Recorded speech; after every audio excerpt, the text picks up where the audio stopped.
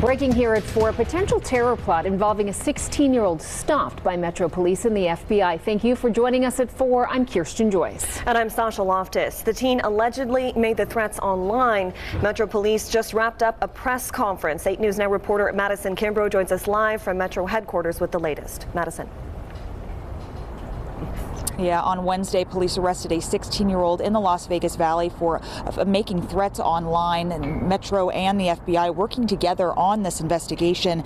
Now, in these threats, the 16 year old reportedly stated that they would start lone wolf operations in Las Vegas against the enemies of Allah and that they are a supporter of the Islamic State. Metro's SWAT team served a search warrant at the suspect's parents' house, in which they found several items of concern. That's including terrorism propaganda, components of building and explosive device and bomb making.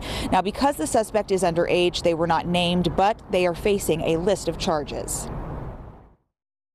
As a result of this search and our overall investigation, we charged the suspect with multiple felonies to include terroristic threats, attempt to further an act of terrorism, providing materials, material support to a terrorist or terrorist organization, and five counts of possession of explosive components.